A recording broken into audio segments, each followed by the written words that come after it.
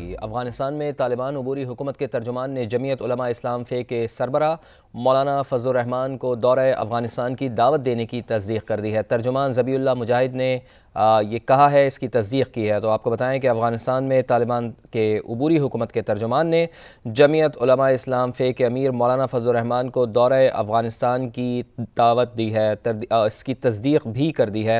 आ, हम चाहते हैं कि मौलाना फजल फजलरहमान अफ़गानिस्तान आएँ। ज़बील्ला मुजाहिद की जानब से ये कहा गया है। समा के भिजवाए गए सवाल के जवाब में ज़बील्ला मुजाहिद ने इसकी तस्दीक की है। अफ़गान अबूरी हुकूमत के तर्जुमान ज़बील्ला मुजाहिद ने दावत की तस्दीक की है।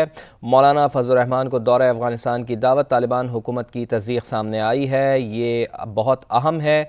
हम और हमारे अवाम पाकिस्तान में बदमनी नहीं चाहते। ज़बील्ला मुजाहिद का इस मौके पर यह भी कहना था। यही बात हम मौलाना फजलरहमान को बताना चाहते हैं।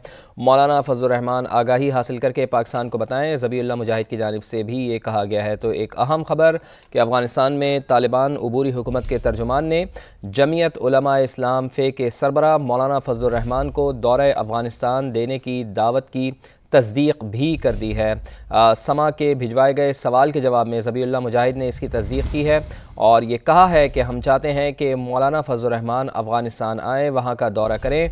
हम और हमारे अवाम पाकिस्तान में बदमनी नहीं चाहते चूँकि इल्ज़ाम यही लग रहे हैं और कि अफ़गानिस्तान से पाकिस्तान में दहशत गर्दी हो रही है। लेकिन अब ज़बील्ला मुजाहिद की जानब से कहा गया है कि हम और हमारे अवाम पाकिस्तान में बदमनी नहीं चाहते।